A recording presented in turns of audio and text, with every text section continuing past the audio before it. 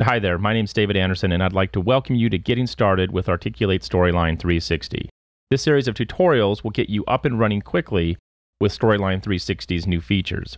In this first video, we'll give you a quick tour of Storyline 360's interface, highlight the essential features, where to find them, and demonstrate a typical workflow for building interactive e-learning. So let's go ahead and get started. When you first open Storyline, you'll see the launch screen where you can find some resources for getting more out of Storyline 360. This includes learning more about Storyline's new responsive player, checking out the growing library of assets and content library, and launching Articulate Review to review and share your uploaded courses to gather feedback with your team and customers. Over here, you can create a new project, or if you're creating a software simulation, you can select that. You can also start here and, of course, import content with PowerPoint files, importing Quizmaker's quizzes. You can import Engage interactions. You can import story templates. Story template files let you import one slide or the entire template file. And finally, you can import questions into Storyline 360 to save development time. And down here, we have our recent projects that we've worked on, so we can quickly access those. If this is the first time you've opened Storyline, then this area will be completely blank for you, but your most recent projects will show up here. And then finally, down here, we can browse for more content files elsewhere on your hard drive. So we'll just go ahead and open an existing project. When you first open Storyline, you'll be inside Story View, and Story View is just a way to give you a big picture overview of your course. You get a bird's eye view of everything in your project, and you can see the flow and the structure of your course. You can also see that we have a couple different scenes right here. Now, scenes are just really a collection of slides and a way to organize your content. So you can see right here, this is scene one, and then this is scene two, and you can have uh, more scenes, as many as you like. And inside of scene one, we can see we've got a number of slides here. We can see the flow of the course, so it's kind of linear, and then it branches out on this slide based on the different decisions the learner makes, right? You can see where the branching happens right here. Now you notice these little arrows coming down between the slides. That's just showing you the relationship and how the slides link to each other. Now, if I click one of the slides, you can see that the arrows then turn to red arrows. And if I click one of those arrows, I can then bring open the trigger wizard to quickly change how the slides are navigating to one another. And cancel that. You can also see the triggers for those slides over here on the right in the triggers panel. So as I click each of these slides, you can see where the triggers panel updates for all the triggers on that particular slide. And then down here, we have the slide properties where you can adjust how the slide advances, how the slide should behave when the learner revisits the slide. You also have some navigation options down below. I'm going to go ahead and create a new scene, just a blank scene so we can work from there. So click the new scene button up here. And here's the new slide. We can see this is scene three, and it's an untitled slide. I'm just going to double click this slide to enter slide view. Now, this view will be familiar if you've worked in previous versions of Storyline, and for those who are new to Storyline, the interface should still feel familiar if you've ever worked in Microsoft PowerPoint. So let's take a look at a few options we have when we're editing and building our e-learning slides. So when you first create the slide, you just see a blank slide. And that's the way Storyline works. It's a free-form editing environment, which means that you can put whatever you want on the screen. You can move it around. You can resize it. You can do pretty much whatever you want with it.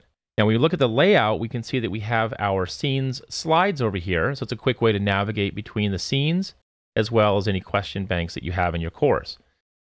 Now, you can still find any slide if you jump back over here to Story View and pick that slide. Or with your side view, you can always just navigate to a specific scene and then view the slides within that scene. And jump back to scene three. If we look at the bottom of the screen, we can see we have our timeline, states, and notes tabs states and timeline you're going to use extensively when you build, and we'll take a closer look at those in a few minutes. Over here, we have our triggers panel, and this is where all of your actions are created in Storyline. And then down here, we have our slide layers. Now, when you're authoring in Storyline, you really have three main authoring components. You have your states, you have your slide layers, and then you have your triggers. And in a general sense, when you build your interactive e-learning, you're always going to work with states, layers, and triggers. And we'll take a closer look at this in a real world project a little later in this tutorial. All right, if we look at the options we have on the top of the ribbon toolbar, we can see we have our Home tab.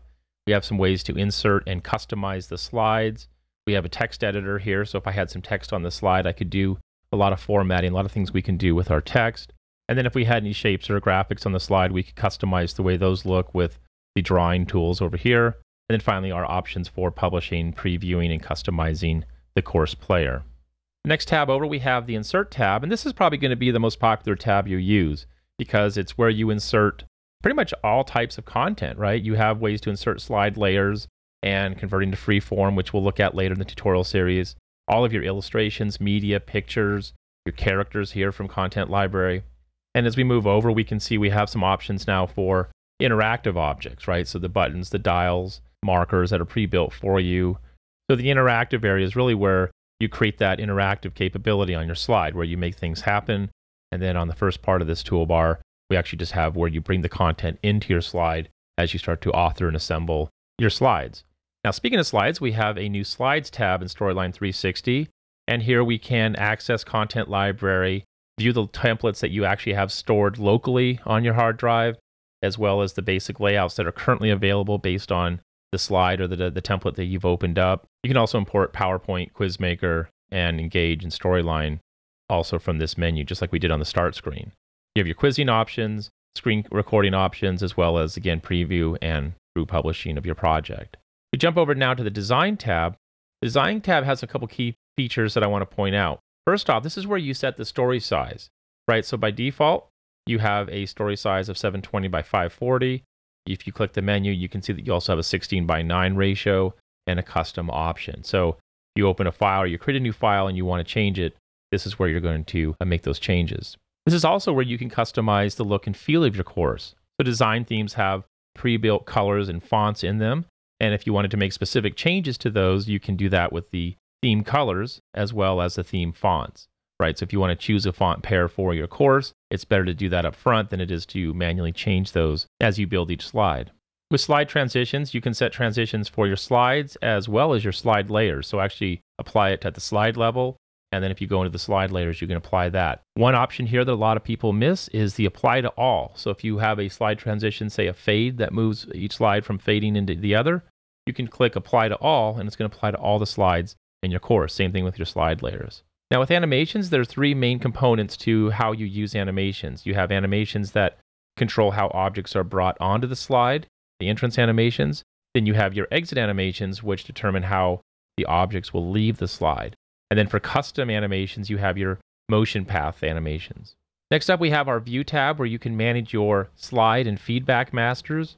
If I click the slide master, you'll see that I already have a bunch of different layouts here for this course. And of course, I can delete them or customize these in any way I like. You see the text placeholders as well as the layouts. Now, one of the cool things is if you import PowerPoint files that have design themes already established, Storyline will recognize the themes. So that includes the, the overall layout, the colors, the fonts that were in that theme. They're also going to be added as a new layout in your project. And when you're in Slide Master View, you can customize the, your course's theme right here. And then you have the options for the theme colors as well as the theme fonts. You can set those up here, or you can set them through the Design tab. Now, if we jump up here to view again and we jump into feedback master, you can see that the feedback masters are a lot like the slide masters. These just control how the content looks on your slide layers. And you can customize these any way you want to, just like you can the slide masters. Now, one thing I'd like to mention is that feedback masters now share the same color themes and font themes as your regular slide masters. You'll notice that you don't have an option here to customize the fonts or the colors. So you only have to customize this once for your project, and those are going to be automatically applied to your feedback masters. And then, of course, there's all sorts of help available to you. That includes tutorials, blog posts, questions, technical support, anything we can do to help you be successful, we're committed to doing. Now, under each tab, you also have the option to preview your slide, a scene, the whole project, or even publish your course. So if I click the option down here to publish, I can bring open the publish options to publish to Articulate 360. You have web options here. Now, one thing you'll notice for the tabs here is we have some new formats for how you publish your courses. So if I come down here to properties and I just click this link, you can see that you now have options for making HTML your primary output and a Flash possibly as a fallback, or if you want to stick with Flash as your primary output. It's a really fantastic feature for controlling for how you publish your courses. Now down here you have the option for the mobile player and whether or not to allow it for offline viewing. Typically leave these selected so that I'm always reaching the largest possible audience with my published courses. you may have reasons for not wanting to share it that way. So uh, just another option for you with your with your publishing. All right, I'm gonna close out. So there's a really quick overview of Storyline's interface. Now I just want to build a really quick interaction to show you kind of how everything works together and the Storyline workflow for building interactive e-learning.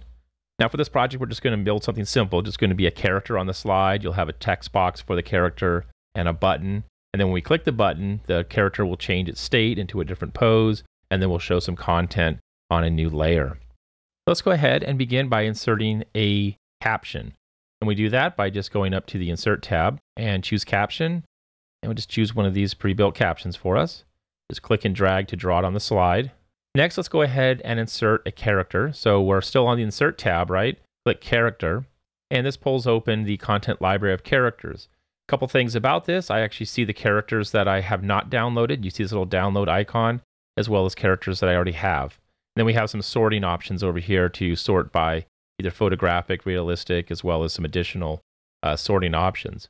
I'm going to choose the new realistic illustrations, and since I already have Lily downloaded, I'll just stick with her. And once you've downloaded your character, then you can take a look at their expressions and poses to choose a specific pose when you insert them. I'm going to keep her at the default setting, and I'll just click Insert. And now that she's on the screen, I can format her like any other graphic or shape. I can crop her a little bit and then scale her up. All right, so at this point, we just have a couple objects on the slide, right? We have a caption box and then we have, have a character. Now, what we want is a couple things to happen. First, we want to create an interaction where I click a button and then change the expression of this character. So right now, she has a neutral expression, and we want to change that to something different.